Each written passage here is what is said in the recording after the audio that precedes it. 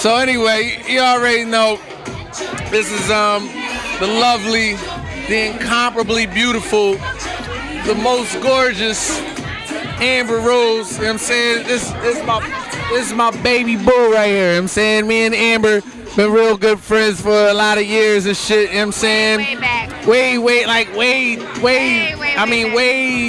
way all the way back. You know what I'm saying? This Long time. I mean, all right. We I used to really, you know what I'm saying?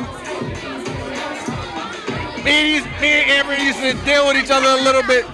But beyond that, she's a really good friend of mine. I mean, that, you know what I'm saying? All that other shit, that romantic shit, whatever. This this my homie right here, you know what I'm saying? And uh, she's doing big things, you know what I'm saying?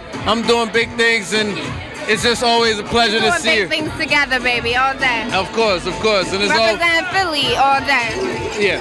Yeah. So, you know, it's just always a pleasure to see Amber, you know what I'm saying? And uh, I'm proud of you, you know what I'm saying? I just want to let you, you know. Thank you. And, um, you know, I just wanted to get her on camera and, say, and uh, just show how gorgeous she is, you know what I'm saying?